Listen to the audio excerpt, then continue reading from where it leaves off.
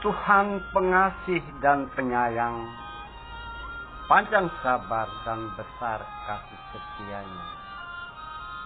Baik kepada semua orang, rahmatnya untuk semua ciptaan. Penuh kasih setia dalam perkataan dan perbuatan. Hendaknya semua yang mengasihi Tuhan bersyukur dan memuji Dia mengumumkan kemuliaan kerajaannya, membicarakan keperkasaannya, memberitahukan keperkasaannya kepada semua orang. Saudara-saudara dalam kemanusiaan, saudara-saudara yang Tuhan kasihi,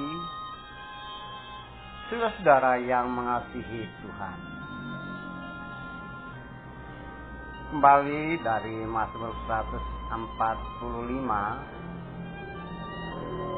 masih di dalam kerangka besar nyanyikan, pujikan, muliakan, menceritakan kemurahan Tuhan, kasih sayang Tuhan kepada semua ciptaan, kepada semua orang.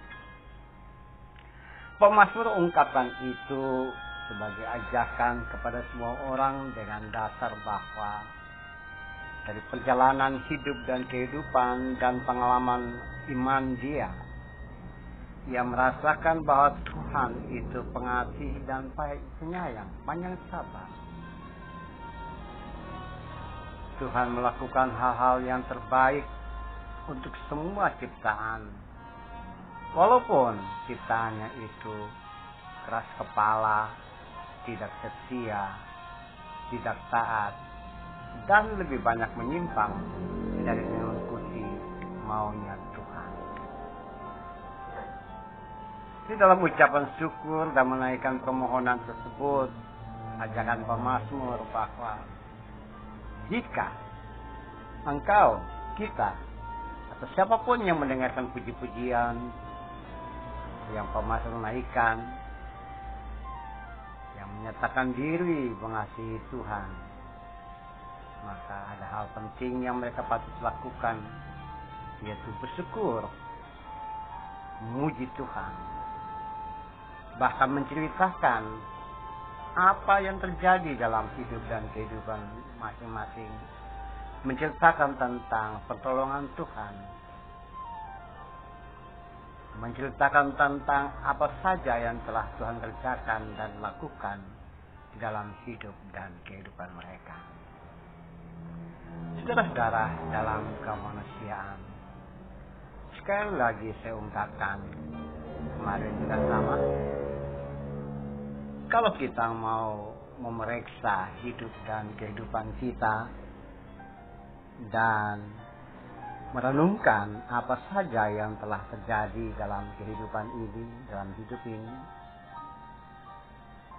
Apa-apa yang telah kita terima sebagai kebaikan Tuhan melalui tangan-tangan orang lain, melalui perbuatan-perbuatan yang kita terima, perbuatan yang kita terima, anugerah, berkat, pertolongan, dan juga apa saja maka kita bisa melihat bahwa terlalu banyak sangat banyak apa yang Tuhan lakukan kepada kita. Sehingga tidak ada alasan untuk kita untuk saudara dan saya menyatakan bahwa aku tidak mengasihi Tuhan kita mengasihi Tuhan dengan cara kita masing-masing. Dan juga kita juga melihat dan merasakan bahwa pertolongan Tuhan kepada kita juga dengan berbagai macam cara. Entah itu melalui kekuatan, kesehatan, mulai bakti anak-anak, melalui kasih sayang yang kita terima, melalui kekuatan kemampuan ketika kita bekerja. Melalui solusi-solusi cerdas yang kita tiba-tiba muncul dalam hidup dan kehidupan kita. Atau ketika kita mengalami hal-hal yang rumit dalam kehidupan. Dan kita mendekatkan diri kepada dia melalui doa dan permohonan kita mendapatkan jalan terbaik dari dia. Solusi nasihat bimbingan Tuhan melakukan kepada kita sesuai dengan kasih setia dia kepada kita sesuai dengan apa yang kita imani bahwa ia adalah pengasih, penyayang, dan banyak sabar. Ada banyak cara yang Tuhan lakukan untuk kita.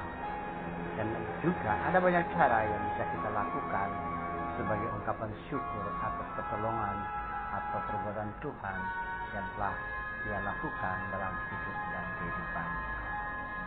Saat ini kita tidak bisa mengatakan bahwa apa yang kita terima, apa yang kita dapatkan, semelulu karena kemampuan dan keberhasilan, ke kepintaran, dan keterampilan kita.